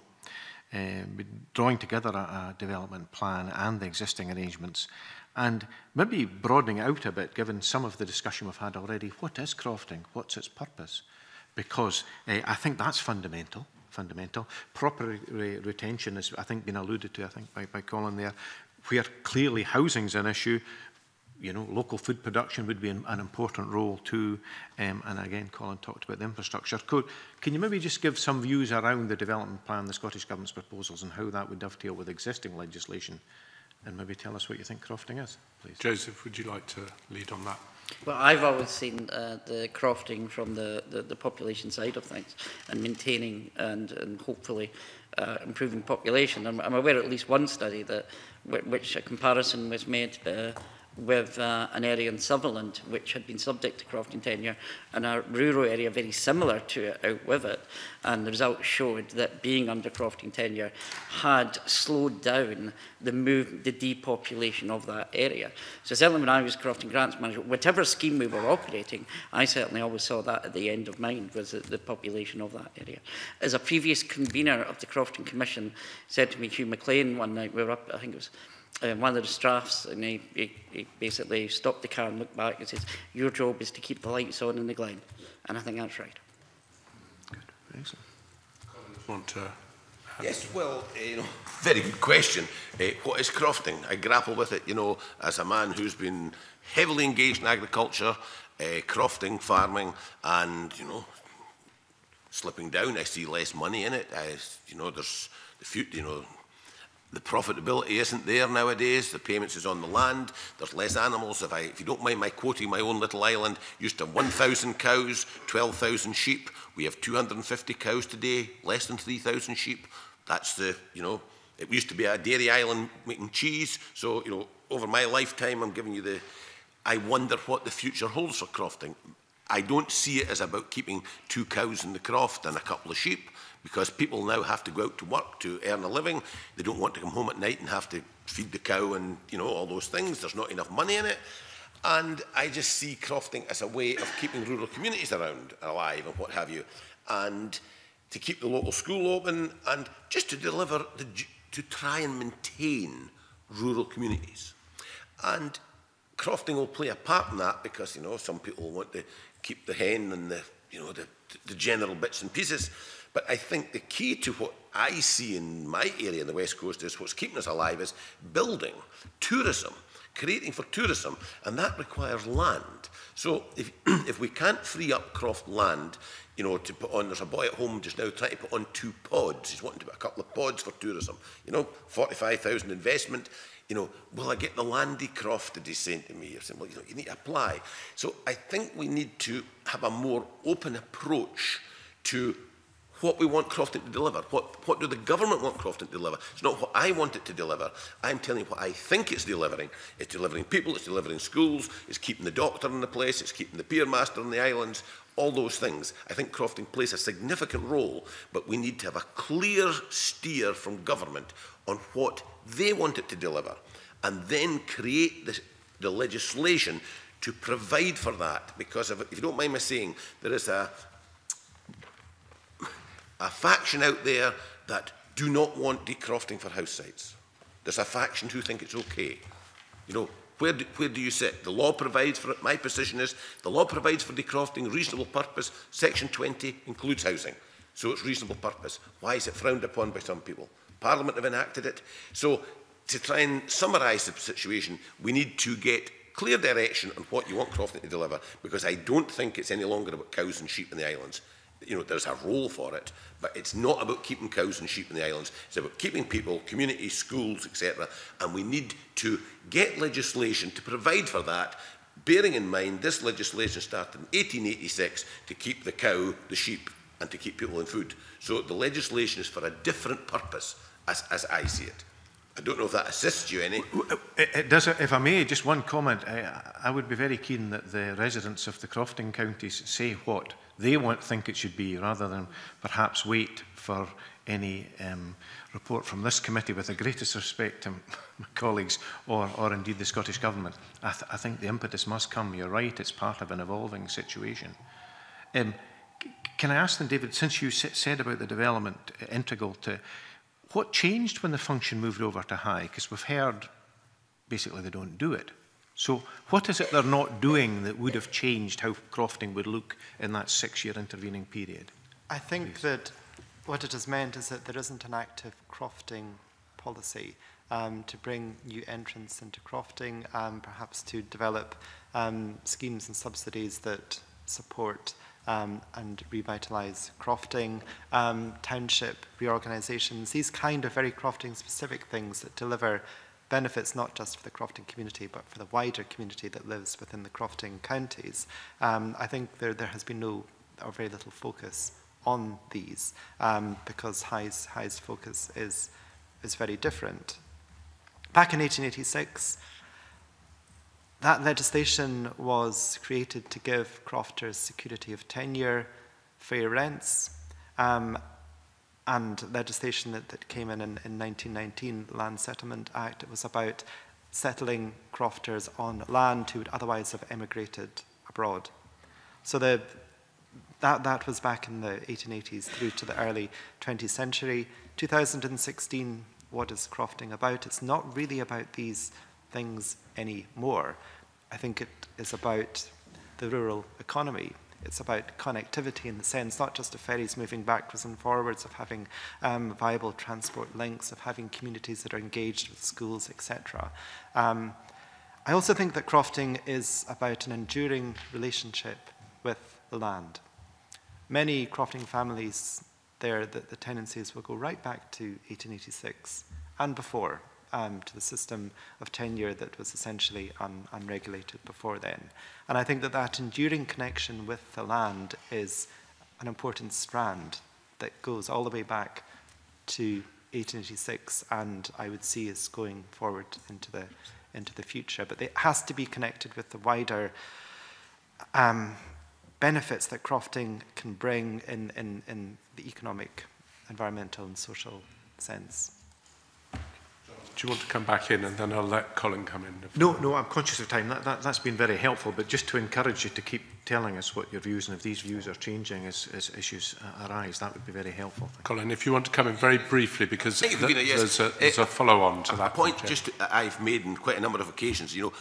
we're looking for new crofting, we're looking to bring people into the Highlands and Islands. We have vast swaths and swathes of common grazing doing nothing in the ownership of Scottish ministers and other people it would be very easy to resume some of that land at very, very minimal cost and create new crofts to meet the demand required. You could go around the outskirts of, you know, just take a random selection of 20 of the main places. Common grazings, any amount of shares not being used, resume 20 hectares, make 10 one hectare crofts. Deem a permitted development, planning, housing, it would not be difficult The land is there. Don't be chasing people out their crofts and annoying folk. Just resume a chunk of common and it's doing nothing and it could be delivered. It wouldn't be difficult. And a lot of folk have said to me, that's a great idea, Colin, but you know, I'm putting it on the table here today, you're the committee for consideration sure we'll consider that. Thank you very much indeed. John, thank you for that. And, and, and Jamie may have answered your next question, but I, I'd like you to ask it anyway, please. Yeah, th thank you, Convener. Um, I mean, my question originally was going to be about encouraging young, young people into crofting. I think uh, Colin covered that quite eloquently, and the, the biggest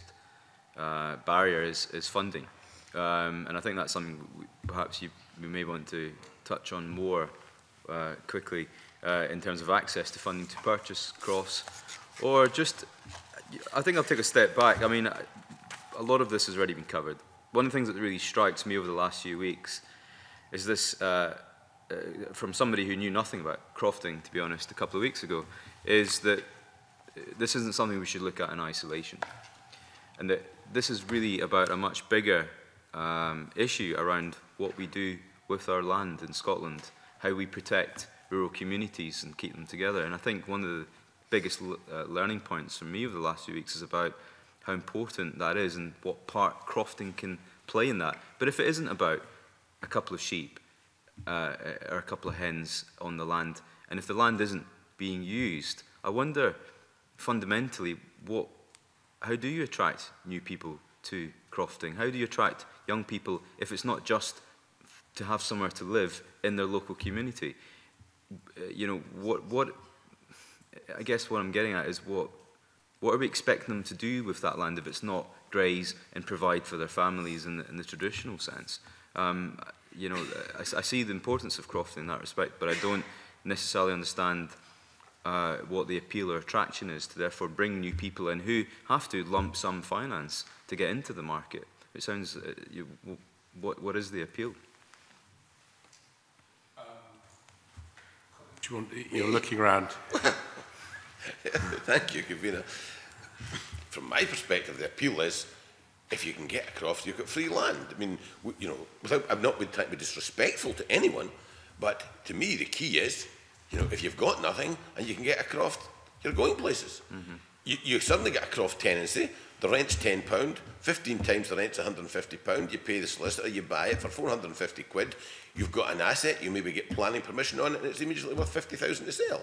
That is to me, you know, if somebody can tell me to the contrary, I'll be willing to take it on board. But in my area, that's what they're wanting cross for. It's people come in, we, we can get a free bit of land and we can get access to buy it, planning permission. And if we're lucky enough, we'll go to the Commission and divide it, and we'll get planning for a second house, and we sell that site, and we build our own house, and we're in business.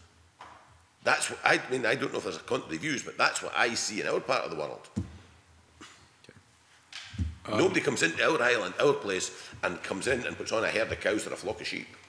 That think, just doesn't happen. I, I think that, that's, that's the point, is that I think there's maybe misconceptions to what people want Cross for. Is it develop cottage industries? Is it to, to graze? Is it to, to have hens that, that feed you know, their families of an eve?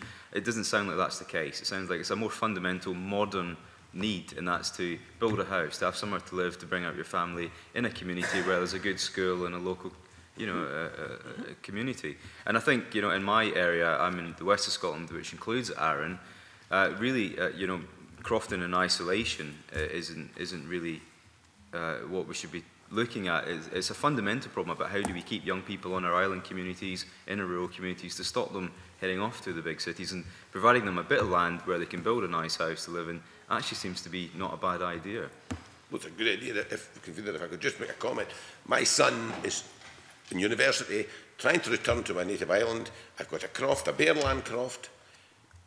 The problem we've got is trying to get planning from the local authority. So an issue that needs to be looked into in the big picture is planning how the system's working or how the system's not working. And if you've got a croft, you know, people don't have the money, you know, to fight the system to get planning. And it is fundamental if you want to get people into the rural economy and, you know, the general conversation we're having the planning department of element, if it has got to be looked at.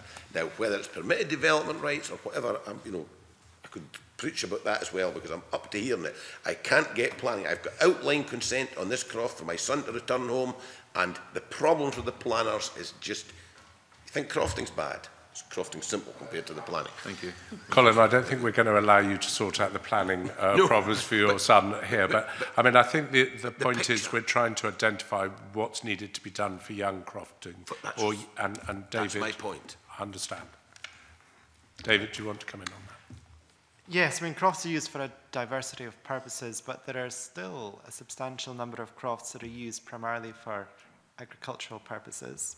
Um, I know many um, very fine crofters who have got brilliant herds of cattle, sheep, um, who use the common grazings to their full extent. Um, there are some common grazings that are run as sheep stock clubs that um, are also very effective businesses. Um, which deliver a dividend for the members of the sheep stock Club and have a substantial um, size of flock. So I think we have to remember that, that crofting was born with, within um, the context of, of um, agricultural tenancies, and that that remains still an important part, in some areas more than in others, but an important part of what, what crofting is about and will continue to be about because um, where crofters are um, engaged in agricultural activities, they will be able, um, depending what happens with, with EU subsidies, etc., they'll be able to continue to claim subsidies which will um, sustain them for, for future years to come. Stop this, this particular issue just there because I'm mindful we've got quite a few questions to get through, um, all of which are important. The, the next one's going to come from Peter, and, and it's a fairly straightforward question. And I wonder if you could you could start your answer by a yes or a no and, and one sentence afterwards, if that's possible. So, Peter. Thank you. Uh, I'll be brief in my questioning as well. There's a, there's a group of landholders under the Small Landholders Act that have similar sort of uh, rules uh, and uh, are, occupy similar areas as crofts. Is there merit in bringing the legislative system of small landholders and crofters together? And could this be part of a simpl simplification of crofting law? I don't really know enough about the Small Landholders Act and on what basis they're held to comment. Um, straight, thank you. uh, uh, uh, a, a simple answer. Yes. David.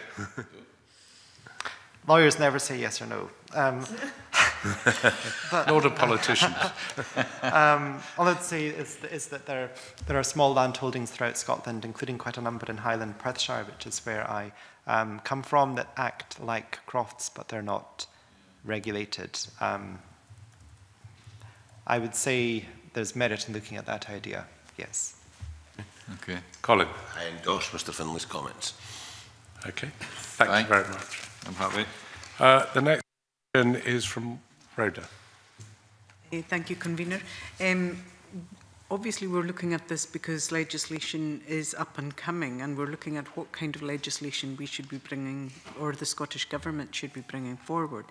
Um, should they be looking at consolidation of the Crofting Acts? Should they be looking at a brand new Crofting Act? Or should they be looking at the SUMP report and putting right what the SUMP has identified as being wrong with crofting acts, plus or minus any aspects of that? So, big question, and, and I'm happy to, to give time, but, but as, as brief as possible would be appreciated. Joseph. Well, um, from my own part, uh, I was part of the 2013 Crofting Bill team. And that was a very narrow act. It looked at one particular problem, and that was the inability of owner-occupier crofters to decroft because of a specific flaw in the legislation. And because it was um, it was very, it was very limited um, when the consultation period was very short and it was made quite clear by the Minister, Paul Wheelhouse, then that we wouldn't look at any other issues. But, it, uh, but these other issues came in and where, where, what the Minister did say at the time was those other issues wouldn't be forgotten about but they couldn't, they couldn't hold up this bill because people were waiting for the croftings or they were holding pieces of paper which legally the, the validity of it was questionable, the piece of paper being our de, the Crofting direction. So the focus was on that. But at that time, my understanding was it would be revisited again and it, would, uh, it, it grew from then to be revisited through the crofting sump And basically the Crofting Commission preferred an extensive contribution to that Crofting sump, um, to, which was administered by Derek Flynn and Keith Graham. And I, I think that to, to identify the principal areas in the legislation that needed uh, revisited that needed to be revisited, uh, I still think that's a good strategy myself. Colin, do you want to? Yes, thank you, Convener. Um, my position is that um, crofting law was set up in 1886. The principles are sound of what the was to give security of tenure, etc., etc., etc. We live in a different day and age. I think we need to get a new act. The basic principles still there to give security to people, etc. You know, the basic principles, but you know, to quote our vice convener, IG MacDonald, it's like a shed that's had 10 layers of felt put in the roof. We need to take off a lot of the layers of felt and get back to the basic principles. You know, the basic six, eight, ten principles that's in the Act, look at the day and age we're living in and decide what's required to make it work for the 21st century. It's simplified, you know, a, a, a tenth the size of the book we've got. And uh, you know, that's, my, that's my view. Thank you. David. From a lawyer's perspective, I would say that to work within the existing legislation to simplify it, to um, address the problems that have been identified, um, and to filter in whatever policy directions the, the government wants for the future of crofting, that would be a much more effective solution than the, the so-called clean slate approach. My concern about that is that it would simply um, replace one system With another system that would have its own complexities, um, anomalies, it would be difficult to see how it would relate to what had gone on um, on previously and, and people's rights um, under a previous system. Um, so I think in many ways the, the, the cleanest um, and in some ways the most radical solution is actually to work from within to simplify and amend it. A huge amount of work has gone on, um, intellectual work and um, practical work has, has, has gone on to identify through the crofting law sump that Joseph referred to, um, to identify some of the main practical problems with the legislation.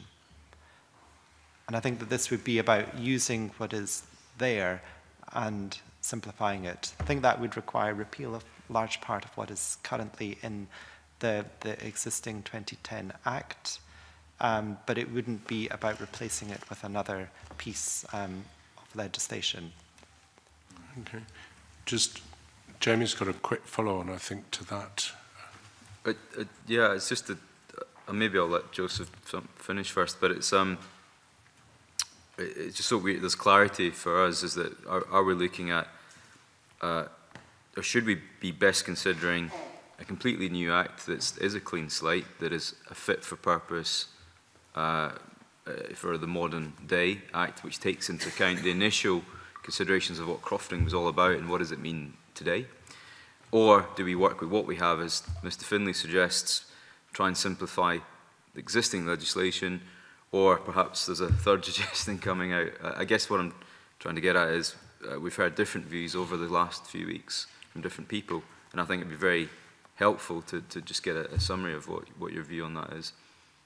in terms of in terms of the policy of, for legislation? Uh, yeah, but as, as I was saying, and uh, what I said earlier, to, to, to, I mean, I, I manage crofting regulation on a day-to-day -day basis, and, you know, largely it works. You know, I mean, it, it was brought in to bring in a series of protections, and those, protect, those have stood the test of time. So I would certainly be for... The other important thing about the summit, do you remember, is as well as identifying the issues, it also sought to establish a consensus And I wouldn't dismiss that at all. To get the various parties who participated in that, who went forward with the agreed priorities identified, I think that was an important achievement. Ready, do you want to come back in? Just, just very quickly, we've been told that this legislation will come at the end of the Parliament, um, given that the 2010 legislation was at the end of a Parliament. Is that the right timing? Should we allow more time or the end of the Parliament suits? Is there more conversation to be had? Colin, if you well, you know, me personally, I've, you know, I think the first fundamental that's got to be established is what is the new act going to deliver. When it is brought in is secondary to what it's going to deliver, to my mind. And you know, I hear what we're saying about the sump, but the sump is addressing issues stemming back to 1886. And it may be if there is a consensus of what the Act is intended to deliver. It may shift the dynamic of what is to be delivered, and it would be ideal to have it next year, but if it was going to take beyond the end of the Parliament to get something fit for the modern day and age, you know, I have, a, I have an open mind on that point. David, do you want to add something to that? Uh, yes, I think if there is clarity from a policy point of view, then that is going to be really important in shaping the legislation clearly. Um, if there is a lack of clarity as to what crofting is, the new act is going to be about, then I think that there is potential for some of the mistakes that happened in 2007 and 2010, and, and, and that would be unfortunate, particularly with the amount of work that is, has gone on with the SUMP and the Commission's contribution to that um, to identify the, the specific problems that there are um, and to relate those to the, the, the bigger issues that, that the government will be considering um, in due course. Peter, quickly, and then one more question. Very quickly, I, I absolutely like what uh, Colin Kennedy just said. We need to get back to basics. Back to basics. I would love to see the Act to be a tenth of the size it is, as, as you rightly said. But there seems to be a, a, a wee bit of a difference of opinion. But my, you know, my gut feeling tells me this thing has to be far, far simpler, far more easily understood, and far, far smaller. How big a job do you think that would actually be to start from basics, clean slate, right back to basics, and produce a, a you know a set of rules that are a tenth of the size they are now, and, and move forward on that basis? Is that a is that a huge job, or is that something that's doable in, in, a, in a reasonable time scale?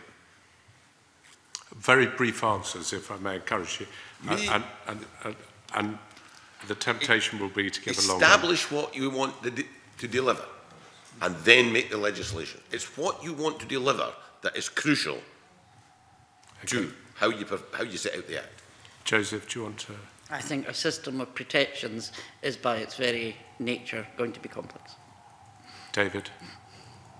I think that simplifying um, is the most difficult process of all. It's much easier to tinker with legislation. Um, I think that simplification is incredibly difficult, but it is achievable. Stuart wants to ask a very quick question, and, and, and then we've got one more, if I may. It's an observation. We did reduce planning guidance when I was planning minister to a tenth of its previous size without losing any of the policy content. So it is possible. Okay. Thank you for that observation. And the final question will, will be from Richard. Well, can I honestly thank you for your evidence? It's been impressive this morning, especially Mr Kennedy. I wish you well in your planning. Uh, if you come to local um, uh, areas in my area, planning's a problem in our area too. Anyway, last question is, um, you've gave examples of uh, where the Cross and Crofting Commission has been unable to effectively carry its, its functions due to lack of resources. I believe that we now need a new renaissance, a new era for Crofton, as Mr Kennedy said earlier, Highland Islands possibly to come in and provide these loans, you know, that, that, that you're talking about. What else can, does the Crofton Commission need? Now we're, we're facing uh, hard budgets and hard, hard times in some way. Do you need more money? They'll always say they need more money. And what for? Who, who wants to go first? David. I think if the objectives of the Act to government are clear, I think that would assist the Commission greatly and it could then um, budget appropriately as to what it can deliver year on year. But I think that the legislation needs to look, drilled right down to the level of what the Commission um, is going to be able to achieve in its regulatory role um, and how that relates to the, the wider benefits, the, the rena renaissance, as you, um, as, you, as you said, in in crofting? always take more resources if, it's being offered. but I think the most important point at the moment is, um, yeah, I, I think to, there is some key changes required in the legislation so that the resources can be most effectively deployed. And a lot of that's to do with enforcement, a lot of that to do with new crofts, a lot of that to do with states of owner occupied crofters. This is really sort that's uh, mapping problem. Yeah. Thank you, Convener. Colin, do you want to add anything? Yes, thank you, Convener. My position is quite clear. When I study this, the Crofting Act, I don't see it that complicated, you know, in, in principle, and we work on a daily basis and we don't have major issues. But where I see vast resources filtering away is where we have customers who don't like the legislation, they ignore the legislation, And they phone up the Crofton Commission and a member of the team has got to sit on the phone and talk to them and try and talk to them. They don't like it, maybe lose an hour. Somebody else comes on the phone from the other side of the fence. We don't like it. If people recognised the legislation, complied with it, it would make the Commission's job so much simpler, regulation so much simpler, and our resources would go so much further. It's dealing with issues not within the legislation that I see as the key, well, a key drain on the Crofton Commission. If a new act or a, a new legislation would be along the lines of, I think you said there are five principles that a crofter stays on the land, they can turn over their boat, they can do their nets, they can go fishing, they can do this, that we bring this renaissance back and, and make it a new area for crofting. That would, that would release all this time that you guys are spending on all this. Uh, yeah. Yeah uh, eh, get into the nitty gritty? Well, you know, yes, you know, but we wouldn't be turning over the boats and the nets in this day and age. We'd be putting on the caravan. You'd be putting, you know, whatever, yeah. whatever the modern world brings for. Yeah. And what, if I could convene make one comment, common grazings in general principles give the Commission a lot of problems and grief. You know, Shetland has got a model where I believe that they have done planned schemes. We, you know, I have not heard of a problem in a common grazing in Shetland in five years. The model in Shetland, I think, is commendable and looking at the common grazing aspect of it is something that is fundamental to any new legislation functioning and for the Crofton Commission going forward. I'm quoting the Shetland scenario. We've, do we hear problems from Shetland? I haven't heard a problem in five years. It was. It's always nice to, to end on a positive note. It, it's convention that I give each of you the chance to say anything that you feel that you want to say you have a very, very short while to do it. Um, is there anything anyone would like to say that haven't come up already in conversation?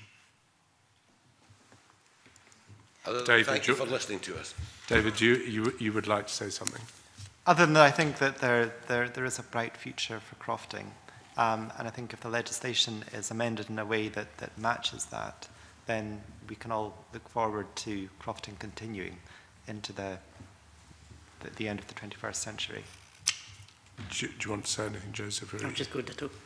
okay. Well, can, can I thank you on behalf of the committee? And I, I'd also like to thank you on keeping to the big picture, which, which has been incredibly useful for the committee. I think we've all found the evidence that you gave today will help us in our deliberations. So thank you very much. And I, on that note, I'd like to formally conclude the meeting. Thank you. Thank you.